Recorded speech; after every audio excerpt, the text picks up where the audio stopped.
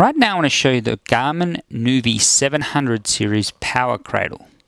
What this is is a part that's included with your 700 series when you purchase it, but it has a few little features that you should know about that uh, the Nuvi itself uses. This is a great replacement part, so if you break the one on your Nuvi, you don't have to buy the whole mount. You can just buy this little little cradle piece and uh, you're good to go with all the parts you already have. First thing to notice about this cradle, you can see there there's these pin connections or the uh, points that join onto the bottom of the Garmin Nuvi that transfer power from the connector on the side and also the external microphone uh, connector right there.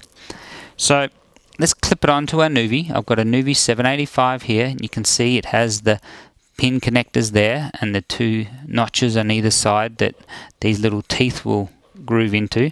So first you just put the bottom into those grooves, push the until it clicks, and that's it.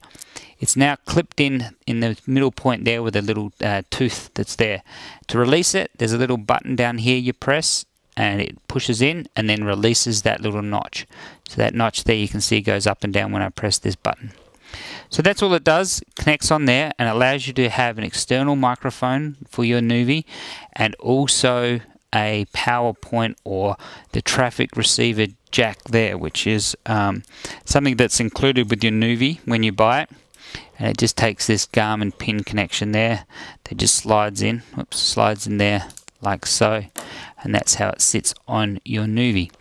The other thing to notice is this G-ball on the back here, which is the Garmin size G-ball, which is a friction ball that connects to the suction cup for this mount. So these two just clip together, a bit of force, they push in, and now through friction, it holds its position. You can put the suction cup on your windshield, and then this can be moved forward and back just by friction alone it's held in a position when you put it so this is one type of uh, Garmin Nuvi G-ball suction cup and the other one is this adjustable one which again same ball but also has an adjustable point here. You can see that pin there.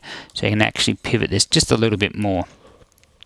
So they're the two options and that pops in and out as you need it. So it's good for traveling so it just sort of com compacts up like that.